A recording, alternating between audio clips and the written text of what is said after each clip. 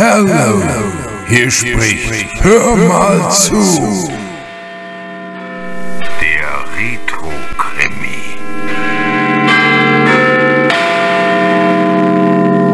Extrablatt mit neuesten Nachrichten. Konnten wir nur je auf dich heranfallen? Weil ich immer zur Stelle bin, wenn's nötig ist. Hier Ihr Daily Leader, Sir. Wie gewünscht. Danke. Schönen guten Morgen, Miss Tuppence. Hallo, Albert. Mrs. Beresford, Sir. Bepackt wie ein Maulesel. Ah, ich will heute selbst kochen. Es gibt Fischgrütze aus getrocknetem Kabeljau, Rhabarber mit Dickmilch und ein paar Löffeln Vanillesoße. Oh Gott, wie in der Schule. Geht's uns wirklich so schlecht, Liebling? Wir haben seit drei Wochen kein Verbrechen mehr vor die Nase bekommen. Eine Detektivagentur ist dazu da zu ermitteln, nicht um herumzusitzen und den Daily Leader zu lesen. Oder wie du Fischgrütze zu kochen und Vanillesoße. Wenn ich's nur höre, krieg ich schon Pickel. Wie wär's, wenn wir nach dem Essen ausgingen? Quasi zur Aufmunterung. Oh, an, äh, woran hast du denn gedacht? Ich hätte große Lust, mal wieder tanzen zu gehen. Tuppence, meine kleine, liebe, bezaubernde Frau. Du vergisst, dass ich alt werde. Oh, du armer alter Mann. Dein Mitgefühl ist rührend. Ja, ja, ich weiß. Du hast zwei graue Haare in deinen Augenbrauen. Nicht sehr aufmerksam. Ich habe zwei graue Haare in einer Augenbraue, und zwar in meiner rechten. Das ist die linke. Es ist meine rechte, wenn ich in den Spiegel sehe. Aber Tommy, du bist ein so hinreißender Tänzer. Bitte nicht nur halb so viel Schmus, Liebling. Also als ich ein nettes junges Mädchen war, Was schon ein Weilchen her ist. hat man mich im Glauben erzogen, dass Männer, besonders Ehemänner, ganz wild auf Trinken und Tanzen sind und die halbe Nacht aufbleiben. Welch merkwürdige Erziehung. und dass eine Frau außergewöhnlich schön und klug sein müsste, damit sie zu Hause bleiben. Na bitte, da haben wir. Weich nicht aus. Was heißt das? Du bist außergewöhnlich hübsch und klug und darum bleibe ich zu Hause und gehe um halb elf ins Bett. Fehlt nur noch der kleine Hund, der dir die Pantoffeln bringt. Eine gute Idee. Also gut, Tommy, wenn ich wirklich ganz, ganz ehrlich sein Aha, soll. ich wusste, dass da noch was kommt. ja, ich hätte solche Lust auf den Drei-Künste-Ball. Oh nein, das nicht. Nicht auf diesen langweiligen Ball. Das ist aber ein Wohltätigkeitsball. Ich bin dafür, Wohltätigkeit daheim zu üben. Der Erlös ist für das Obdachlosenasyl, so viel ich weiß. In dem Fall reservier mir dort ein Zimmer. Wir gehen also. Um Himmels Willen, überleg dir das. Der Drei-Künste-Ball. Du musst dich kostümieren, lauwarmer Champagner, die Brötchenschlacht am Buffet. Schon gut, ich will da nicht nur zum Vergnügen hingehen. Ich bin da über eine Annonce gestolpert. Sie bitte unter Vermischtes in Daily Leader nach. Oui, mon Kapitän. Also ich glaube, es war die achte Anzeige in der zweiten Spalte. Was steht da? 1, 2, 3, 4, 5, 6, 7, 8. Ich würde sagen, drei Herz, zwölf Stiche und Pik Ass. Der König muss gestochen werden. Was hältst du davon? Ganz schön teure Art, um Bridge zu lernen. Findest du nicht? Weißt du, manchmal habe ich das Gefühl, dass du dich absichtlich taub stellst. Oder bist du es? Es könnte auch eine verschlüsselte Botschaft sein. Sehr gut. Dann würde ich sagen, drei Herz könnte der Drei-Künste-Ball sein. Offensichtlich. Oh, vielen Dank. Das ist morgen. Zwölf Stiche könnte zwölf Uhr sein. Mitternacht. Wann sonst, du Schafskopf? Ein Wohltätigkeitsball findet nicht mittags um zwölf statt. Nein. Aber das Pik Ass ist doch nicht diese Spelunke von Kellerbar, wo wir öfter mal als Jungverheiratete waren. Genau die. Wo eine Maus immer um die Käseglocke lief wie auf einer Aschenrennbahn? Also ich fand's köstlich. Wenn ich nur an diese Separés denke. Damals hast du's hübsch gefunden. Wenn so alles stimmt, was hat das Pik Ass mit dem Drei-Künste-Ball zu tun? Dorthin geht man oft nach einem Ball, um ein deftiges Schinkenbrot zu essen oder eine Erbsensuppe. Oder Fischgrütze? Oh, furchtbar komisch. Und das alles im Kostüm? Warum nicht? Die meisten tragen sogar noch Masken. Wie hinderlich beim Essen. Also, drei Herz ist der Drei-Künste-Ball. Zwölf Stiche ist äh, 12 Uhr Mitternacht. Und Pik Ass ist das Pik Ass. Pik Ass. Du bist wie immer brillant. Aber was bedeutet, der König muss gestochen werden? Das ist das, was wir herausfinden müssten. Ich finde, als Detektivagentur könnten wir ein bisschen Übung brauchen. Es ist bereits morgen. Und woher kriegen wir so schnell ein Kostüm? Ich habe schon welche besorgt. Wie konnte ich so was Dummes fragen? Als was gehen wir? Sherlock Holmes und Dr. Watson. Oh, gar nicht übel. Ja, ja, ich werde fesch aussehen mit Jagdhut, einer Meerschaumpfeife, die zwischen meinen männlichen Kiefern hängt, mit Geigenkasten unterm Arm und einem Stethoskop um den Hals.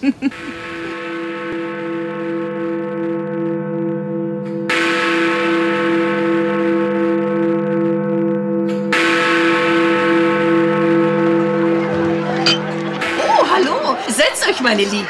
Ist gerade frei. Gut. Wir haben noch Käsebrot oder Eier mit Schinken. Ein Käsebrot ist jetzt genau das Richtige. Ich nehme Eier mit Schinken. Kaffee, Tee oder Limonade? Ein Kaffee bitte. Ein Gin. Wie bitte? Ja, Kaffee ist Gin, Schätzchen. In Tassen serviert für den Fall, dass Bullen vorbeikommen. Und äh, was ist Tee? Whisky. Und was ist Limonade? Limonade ist Limonade. Es gibt ja immer welche, die nichts trinken. Dann Limonade, bitte. Ja, für mich auch Limonade. Wir sind schon ein bisschen beschwippt. Also einmal Eier mit Schinken, ein Käsebrot und zwei Limonaden. Kommt sofort. Also wer mag's wohl sein? Was meinst du? Columbine? Pierrot? Oder der Zigeuner und das Schlachtschiff? Ah, mehr eine alte Fregatte, würde ich sagen. Die an. Gar nicht schlecht, wie? Gute Aufmachung. Sehr gut, ja. In Begleitung des Herrn Zeitungskleidung. Höfling aus Alice im Wunderland. Ich habe ihn auf dem Ball gesehen. Der Daily Leader, würde ich annehmen. Wo? Oh, sei doch nicht so begriffsstutzig. Sein Kostüm ist aus Zeitungen, aus dem Daily Leader. Ist das nicht herrlich, Tommy? Wo du hinsiehst, überall Skandale. Der Krach ist fürchterlich. Darf ich ja? Ja, kommen Sie. So, da hätten wir es. Da hätten wir ein Käsebrot für die Dame und einmal Eier mit Schinkensöhn und zwei Limonaden. Lasst es schmecken, ihr Dankeschön. Schätze. Also ich habe so ein Gefühl, als ob nebenan was nicht stimmt. So? Der unterdrückte Schrei und das Lachen, Tommy. Irgendwie geht das nicht zusammen, finde ich. Und dann spaziert der Mann aus dem Lokal. Ja. Ein bisschen zu lässig. Und allein. Ja. Warum? Keine Ahnung. Sehen wir mal nach. Oh, Tommy, schnell. Sieht aus, als ob sie noch lebt. Oh, vielleicht ist ein Arzt draußen und ruft die Polizei. Lass die Finger von dem Messergriff. Hörst du? Ja, ich geb schon acht. Schnell. Meine Liebe. Können Sie mir sagen, wer das getan hat? Es war Bingo. Bingo? Ja. Bingo hat's getan. Ich wollte.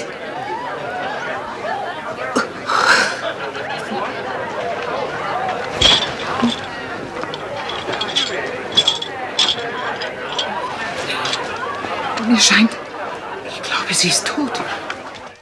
Tut mir leid, dass wir uns unter diesen Umständen wiedersehen. Ich bin froh, dass Sie da sind, Inspektor. Leider wissen wir noch nicht, wer die bedauernswerte Dame ist. Kein Hinweis auf ihre Identität, außer im Kostüm. Aber um diese Zeit hat kein Kostümverleih offen. Ja, Doktor? Sie ist an dem Messerstich, der ihr Herz durchdrungen hat, gestorben. Wäre es möglich, dass sie sich selbst erstochen hat, Doktor? Sagen wir theoretisch ja, aber sehr unwahrscheinlich. Sagen Sie, Mrs. Beresford, was hat Sie veranlasst, in die Nische nebenan zu gehen? Tommy und ich. Äh, nein, ich muss wohl von vorn anfangen. Wir waren direkt hierher gekommen vom Dreikünsteball. Und äh, wir haben es uns eben bequem gemacht in unserer Nische, äh, als wir eine Frau schreien hörten. Was für ein Schrei war das? Schwer zu sagen. Sie könnte vor Überraschung aufgeschrien haben. Oder vor Schmerz? Möglich, ja. Und im selben Moment lachte ein Mann. Wir dachten da nicht mehr dran, weil das Essen kam. Aber dann hatte ich mit einem Mal das Gefühl, als wäre nebenan etwas nicht geheuer.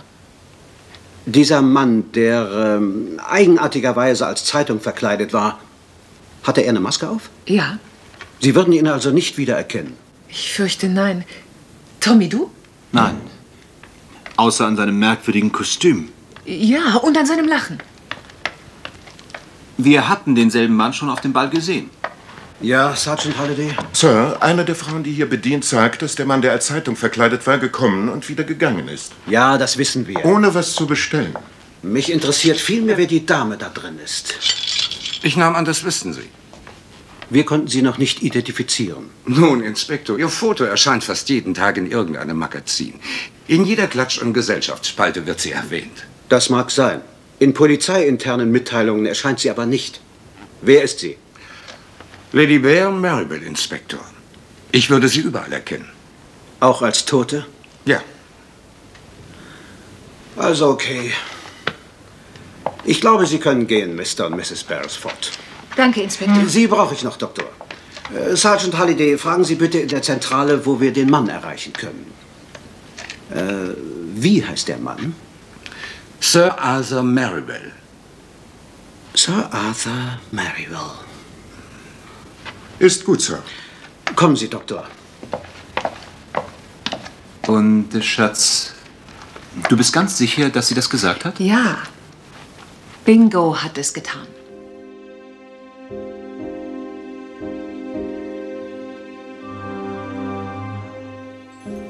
Ah, Mrs. Beresford. Tut mir leid, Sie so früh stören zu müssen. Nach der langen Nacht. Das macht nichts, Inspektor. Das ist Mrs. Beresford, Sir Arthur. Wie ich Ihnen schon sagte, war sie es, die Ihre Frau gestern Abend gefunden hat. Sir Arthur Marrable. Guten Morgen, Mrs. Beresford. Es tut mir sehr leid, Sir Arthur. Dankeschön. Ich kann es nicht glauben und werde niemals glauben, dass Captain Hale wer auf irgendeine Weise verletzt haben könnte. Geschweige denn, Sir Arthur ist sehr schwer zu überzeugen. Bingo Hale war und ist einer unserer engsten Freunde. Wir waren äh, in Eton und Cambridge zusammen. Und jetzt lebte er quasi mit uns. Sie müssen sich verhört haben. Unseligerweise nicht. Ihre Frau sagte, es war Bingo. Und ich fragte Bingo? Und sie sagte, ja, Bingo hat es getan. Da hören Sie es. Es ist und bleibt unglaublich für mich. Da möchte ich doch wissen, welches Motiv er gehabt haben könnte. Nun, falls das, was ich gehört habe, stimmen Oh, sollte. ich weiß, was Sie denken, Inspektor Marriott. Sie glauben sicher, Hale war der Liebhaber meiner Frau. Möglicherweise nicht mehr als ein Gerücht. Ich weiß, es wird viel Wir drei kommen seit Jahren bestens miteinander aus. Wo ist er hin, nachdem er aus dem Pikas weggegangen war? Wir haben ihn heute früh in Sir Arthurs Haus festgenommen.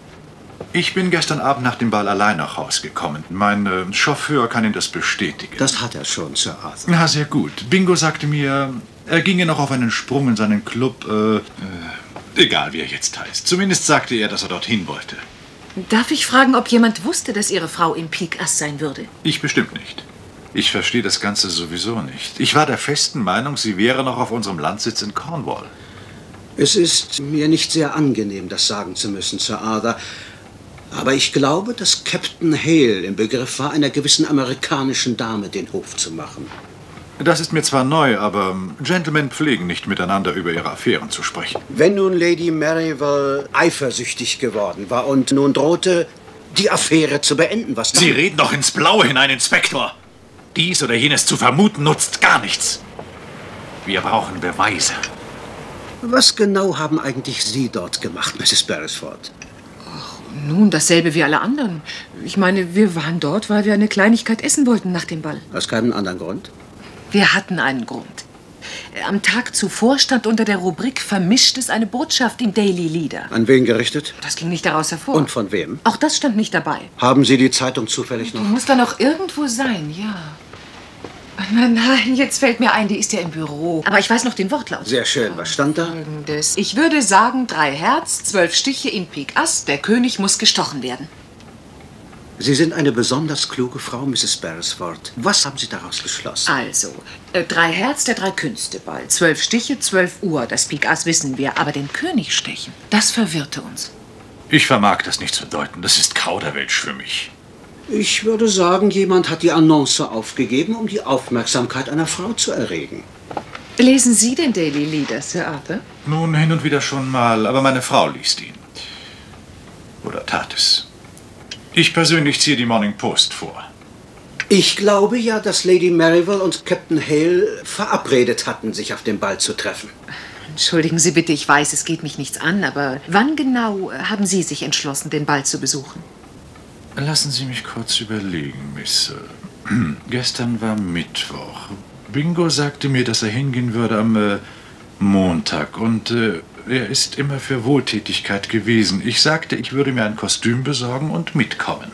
Hat er auf Ihren Entschluss irgendwie reagiert? Nicht, dass ich wüsste. Vielleicht sagte er, na, sehr schön, vermutlich. Aber ich kann mich, wie gesagt, nicht erinnern. Immerhin bekäme so der Hinweis einen Sinn. Der König muss gestochen werden. Möglicherweise als Warnung für Ihre Frau, dass nun auch Sie den Ball besuchen werden. Nein, das hört sich nicht nach Bingo an.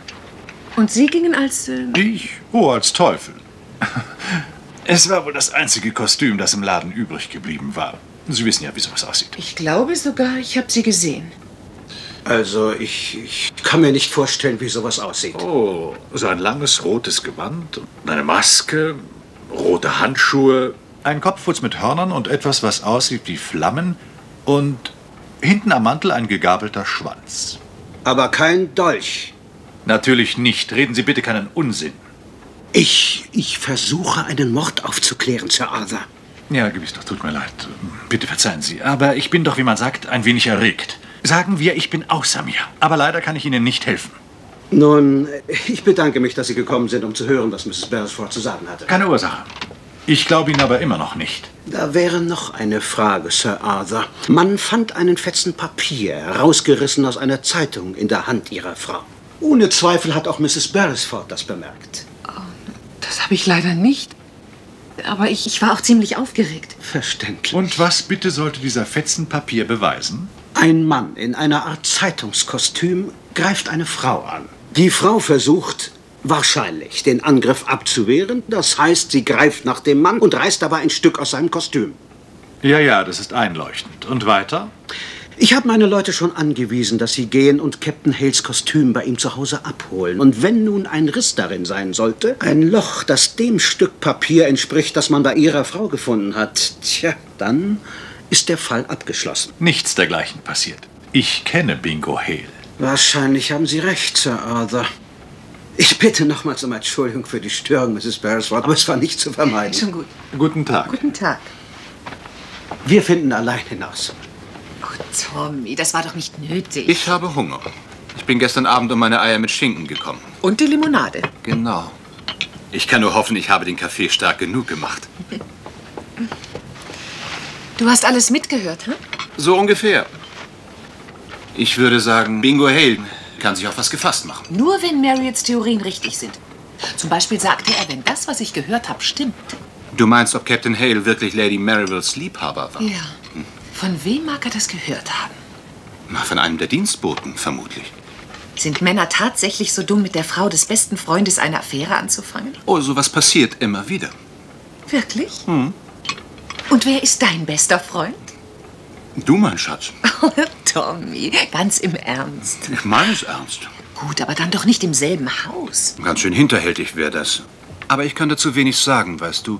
Mir ist sowas nie passiert. Noch nicht. Marriott ist davon überzeugt, dass es Captain Hale war. Der Fall ist erledigt, soweit er uns betrifft. Ich schlage vor, wir gehen ins Büro. Mal sehen, was der neue Tag zu bieten hat. Ist gut. Und doch, Was? irgendwas stimmt irgendwie nicht. Mich soll der Teufel holen, wenn ich weiß was.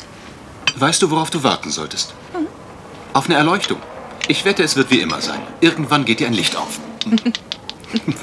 Ist auf.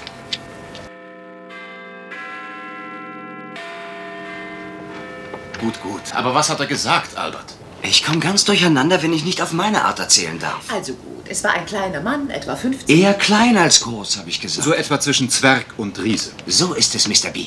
Hat er seinen Namen gesagt? Er hat mir so ein Zigarettenpapier gegeben. Zigarettenpapier? ja, ich glaube, ich habe es noch nicht genau angesehen. Albert, das ist eine Visitenkarte. Wenn Sie sagen. U.E. Telling, Anwalt bei Verity, Bilton und Hackett, Lincoln Er hat gesagt, Sie möchten sich doch mit ihm in Verbindung setzen. Du glaubst, er meint es ernst? Wie meinen Sie das, Mrs. B? Welchen Eindruck machte er auf dich? Naja, er, er, er war eher klein als groß und Ja, das hatten wir bereits. ein weißes Hemd, kurzer Kragen, gestreifte Hosen, schwarzes Jackett, Bowler und selbstverständlich Regenschirm. Welche Farben hatten seine Socken? Schwarz mit Streifen, schwarze Schuhe, schwarze Schon Kra- gut, Albert, schon gut. Aber ich soll aufmerksam beobachten. Ganz recht, Albert. Wir rufen den Herrn dann später an.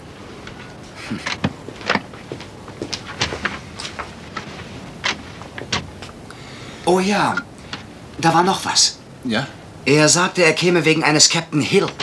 Hill? Und er sagte ganz gewiss nicht Hale. So war's, ja. Hale. Da stand eine Nummer auf der Visitenkarte. Holborn 1592. Wie haben Sie von uns erfahren? Ein Inspektor Marriott erzählte meinem Anwalt Mr. Telling von Ihnen und dass Sie als Zeugen benannt würden, wenn mein Fall verhandelt wird. Wir haben bereits ausgesagt. Es gibt nichts hinzuzufügen. Der Inspektor sagte auch, Sie besäßen eine Detektivagentur. Er hält wohl sehr viel von Ihnen. Das war sehr nett von ihm. Tja, und so bat ich meinen Anwalt, Sie zu bitten, mich aufzusuchen. Nun ja, ähm, wir. Selbstverständlich werde ich die üblichen Gebühren zahlen, ganz gleich, was, äh, was mit mir passiert. Nein, nein, wir zögern nicht wegen des Geldes. Es ist das Ergebnis, was uns interessiert. Gut, Captain Hale. Was können wir für Sie tun? Nun, äh, wissen Sie, alles, was die Polizei so sagt und weiß, ist wahr. Das meinen Sie im Ernst? Mit einer Ausnahme. Wer umgebracht habe ich nicht. Aber Sie waren auf dem Dreikünsteball. Ja, Wie wir gehört haben, als Zeitung kostümiert. Ja. Aus diversen Exemplaren des Daily Leader. vielleicht. äh, Merivales Haushälterin hat es für mich zusammengenäht. Wieso? Was meinen Sie mit wieso? Warum ausgerechnet dieses Kostüm? Äh, Sie sagte, so eine Figur gäbe es in Alice im Wunderland und es wäre doch eine gute Idee und ich sagte ja. Nach dem Ball gingen Sie in das Pik Ass. Nein. Wir haben Sie dort gesehen. Sie waren im Separé neben Nein. uns. Aber Sie wir haben... wussten, dass Lady Mariville dort sein würde. Ja, so hatten wir es abgemacht. Und die Botschaft unter Vermischtes im Daily Leader? Äh, st- Stimmt, ja, die war von mir. Ihre Liaison mit ihr war also kein Gerücht. Ja, ich meine, nein.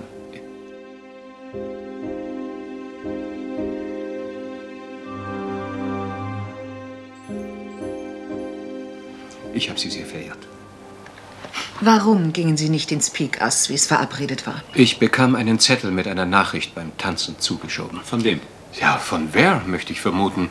Welchen Inhalts? Ich äh, sollte nicht mit ihr sprechen auf dem Ball und den Treff im Pik Ass vergessen, weil Arthur einen Verdacht hätte. Was geschah mit der Notiz?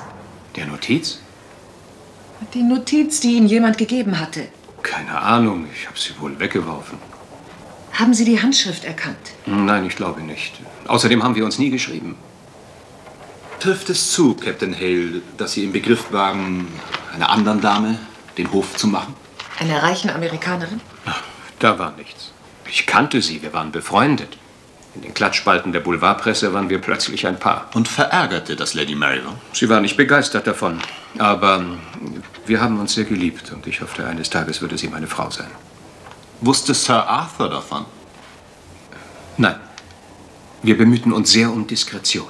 Wir wussten ja noch nicht, wie wir die Situation klären sollten. Wir haben beobachtet, wie Lady Mariville mit Ihnen sprach und zusammen mit Ihnen in die Nische neben unserer Das bin ging. ich nicht gewesen. Außer ich müsste. Ja, was? Ich meine, ich müsste dann so. so betrunken oder verrückt gewesen sein, dass ich nicht mehr wüsste, dass ich sie getötet habe. Hat man Ihnen den Dolch gezeigt? Ja. Hatten Sie ihn schon mal gesehen? Ich habe dem Inspektor gesagt, das hätte ich nicht. Aber es war so. Ja. Es ist meiner. Er gehört Ihnen? Ja, ich habe ihn von meinem Vater. Er war in Indien. Ach, es ist sicher eine dumme Frage, aber wie zum Teufel kam dieser Dolch ins Pik Ass? Ich habe nicht die geringste Ahnung. Wo haben Sie ihn aufbewahrt? In meiner Wohnung in der German Street. Wo Sie sich gewöhnlich mit Lady Mariville trafen, ja? Captain Hale, wir wissen im Moment noch nicht, ob wir Ihnen helfen können oder nicht. Aber belügen Sie uns nicht. Alles wird streng vertraulich behandelt. Ich, äh, ich bitte um Entschuldigung. Ja. Ja, wir haben uns dort oft getroffen. Ging Lady Mariville auch irgendwann selbst dahin? Ja, sie hat die Schlüssel zur Wohnung. Also hätte sie den Dolch an sich nehmen können. Ja, das wäre möglich gewesen. Wenn Sie nicht ins Pik Ass gegangen sind, äh, wohin gingen Sie vom Ball aus? Ja, wissen Sie, erstmal war ich sehr verärgert über die Nachricht von Ware und ich habe weitergetanzt. Mit wem? Äh, mit der. Äh, es tut mir leid, ich hatte zu dem Zeitpunkt schon äh, äh, ziemlich viel Champagner intus und tanzte mit. Äh, wie soll ich das jetzt wissen? Fast alle trugen Masken. Wann verließen Sie den Ball? Nach dem letzten Tanz, da war es. Wie spät war es da bloß? Wagen um eins stand auf der Einladung. Und dann war es auch ungefähr eins. Sie fuhren dann wieder zu Sir Arthurs Haus. Ja. Direkt? Äh, nein, äh, ich war noch mit äh, drei anderen in dem Pub gleich um die Ecke. Der heißt? Strand. Kannten Sie die Leute? Äh, Ob ich. Ähm, äh, nein, wir, wir wir sind da einfach gelandet. Sie waren ein bisschen beschwipst. ja, Mehr als ein bisschen beschwipst. ja. Fast besoffen. Äh, mehr oder weniger ja. Ich war verwirrt und über Ware sehr verärgert. So sehr, dass Sie vielleicht doch noch zu der Verabredung Jedenfalls gingen? muss Ware da schon tot gewesen sein, nicht wahr? Oh, hat man Ihnen bei der Verhaftung gesagt, um welche Uhrzeit sie starb? Nein. Sie wissen, dass ich in dieser Kneipe war, im Strand. Ich hätte unmöglich Aber von niemand da... kann bezeugen, dass Sie dort waren, Captain Hale. Nein. Sie waren aber immer noch kostümiert, ja? Ja, Na gut, äh, wenn wir nun per Anzeige nach jemandem suchen würden, der Sie so kostümiert im Strand das sah... nützt gar nichts. Ich hatte einen Regenmantel überm Kostüm. Ganz ohne Alibi wird es ein bisschen schwierig werden. War Sir Arthur noch auf, als Sie heimkamen? Nein, aber ich fand eine Nachricht, dass wir zusammen frühstücken würden. Und äh, die Polizei kam wann? Das weiß ich nicht genau. Ich war eben eingeschlafen. Sagen Sie bitte, als Sie Ihr komisches Kostüm auszogen, bemerkten Sie da, dass an der Seite irgendwo ein Stück fehlte? Um Ihnen die Wahrheit zu sagen, ich war, auf derartiges zu achten, war ich nicht mehr in der Lage. Sie wissen aber, dass die Polizei Ihr Kostüm mitgenommen hat. Ja, aber was Sie damit beweisen wollen, weiß ich nicht. Also gut, Captain Hale. Wir gehen jetzt und setzen unsere Denkkappen auf. Ja. Und wenn wir irgendwie weiterkommen, lassen wir es Ihren Anwalt wissen. Und wenn Ihnen was einfällt, auch wenn es Ihnen noch so unbedeutend erscheint, lassen Sie es uns wissen, ja? Ich danke Ihnen. Es, äh, es war sehr anständig von Ihnen, mich zu besuchen. Auf Wiedersehen. Wiedersehen. Auf Wiedersehen.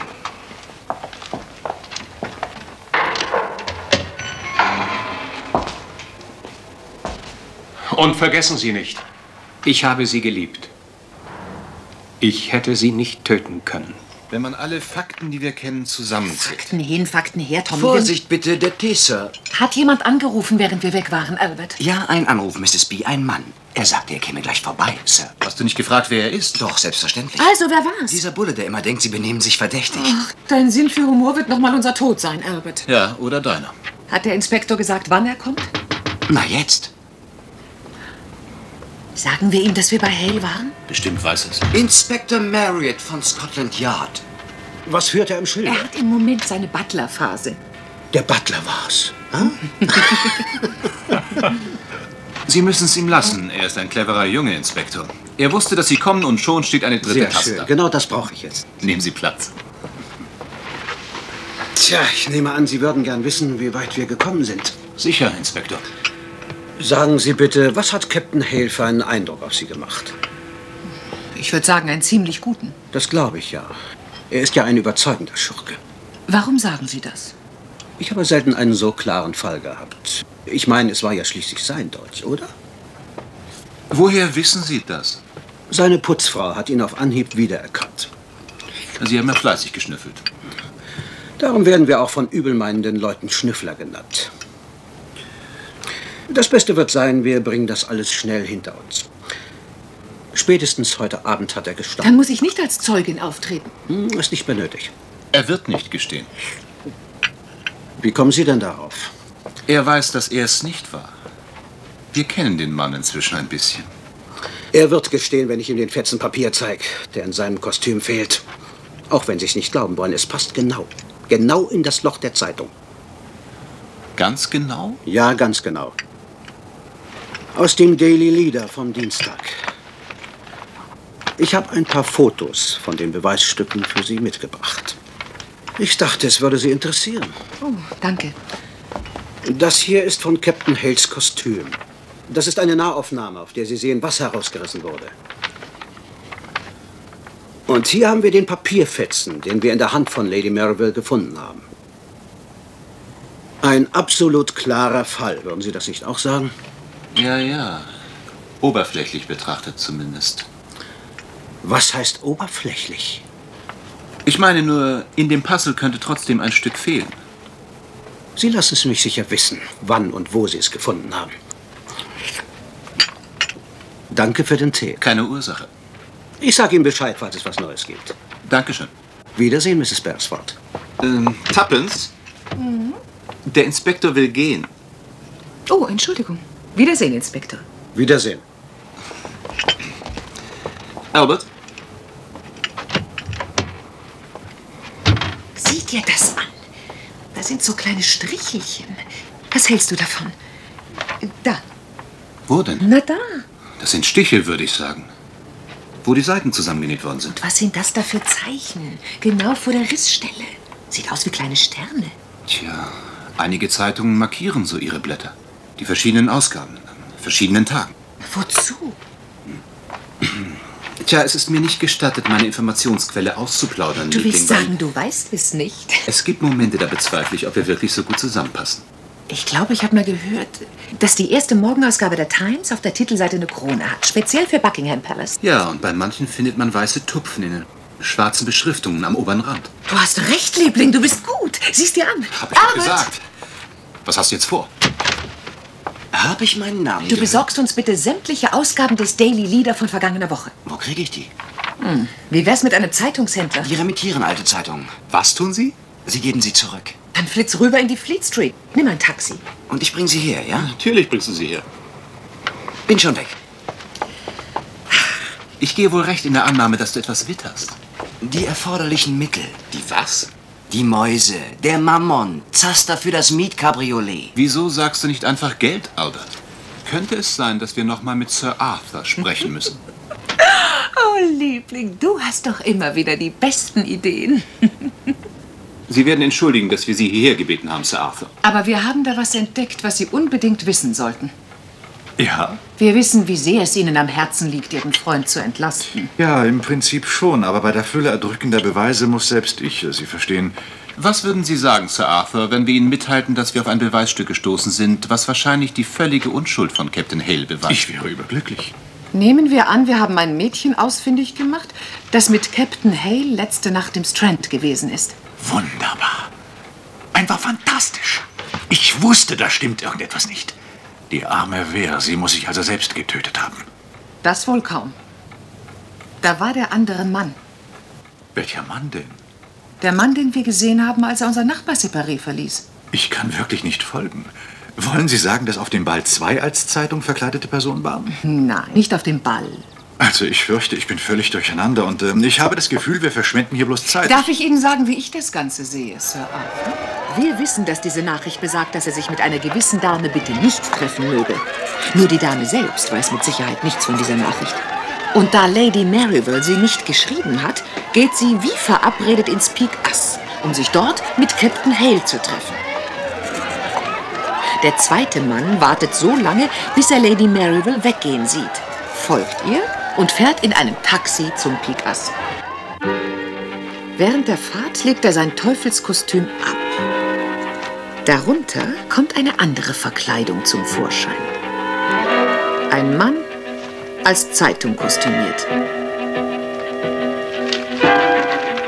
Alles sehr schlau geplant von diesem zweiten Mann. In der Zwischenzeit im Peak Ass fragt Lady Maryville sich, wo Captain Hale nur bleibt. Dem zweiten Mann, der entdeckt hatte, dass Lady Maryville ihm nicht treu war, war es gelungen, in Captain Hales Wohnung zu gelangen und den Dolch zu stehlen. Lady Maryville geht zurück in das Separé.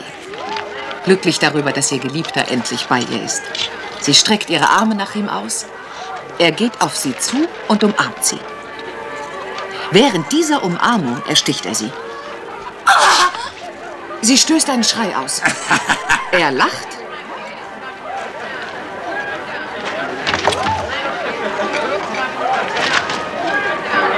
Und verlässt das Pikas. Bis hierher war es ganz einfach ein Mord. Im Taxi auf dem Weg nach Hause bemerkt er, dass Lady Maryville ihm ein Stück aus dem Kostüm herausgerissen hat. Das könnte nun große Schwierigkeiten mit sich bringen. Würden beide Männer nicht zufällig im selben Haus wohnen? Er reißt an genau derselben Stelle ein Stück aus Captain Hales Kostüm, indem er wahrscheinlich beide Kostüme übereinander legt. Danach verbrennt er sein eigenes und bereitet sich darauf vor, die Rolle des treuen Freundes zu spielen. Eine recht lebhafte Fantasie einer charmanten Dame, die vermutlich zu viel schlechte Kriminalromane liest. Glauben Sie, ja? Und ein Ehemann unter dem Einfluss seiner Frau. ich kann mir nicht vorstellen, dass Sie jemanden finden, der diese Sache ernst nimmt. Ich würde dieses Lachen überall wiedererkennen. Das würde ich auch. Und ich habe es zuletzt im Pik Ass gehört. Und Sie unterliegen einem Missverständnis, was uns betrifft. Internationale Detektivagentur. Deshalb hat mich Inspektor Marriott heute Morgen hierher gebracht. Es war eine Falle. Ich gehe runter und kümmere mich darum. Armer Teufel. Wenn er seine Frau nun geliebt hat. Sie geliebt hat? Das glaube ich kaum. Er wusste nicht mal, wo er noch Geld auftreiben sollte. Lady Maryville hat ein großes eigenes Vermögen, das ihm ganz zugefallen wäre. Wäre sie mit Captain Hale durchgegangen, hätte er nie einen Penny davon gesehen. Das war's also. Wieder mal der schnöde Mammon. Das war's. Mir war von Anfang an absolut klar, dass Sir Arthur ein ziemlich mieser Kerl und Hale soweit in Ordnung sei. Wie gescheit Sie waren, Inspektor. Ach, wissen Sie, wir vom Yard wissen eigentlich immer, wie der Hase läuft. Es sind nur in manchen Fällen gewisse Fakten, die gegen einen sind. Ja. So ist das wohl. Jetzt muss ich wohl runtergehen. An Ihrer Stelle würde ich meiner Frau ein Glas Brandy geben, Mr. Beresford. Sie ist doch, wie man so sagt, ein bisschen weiß um die Nase geworden.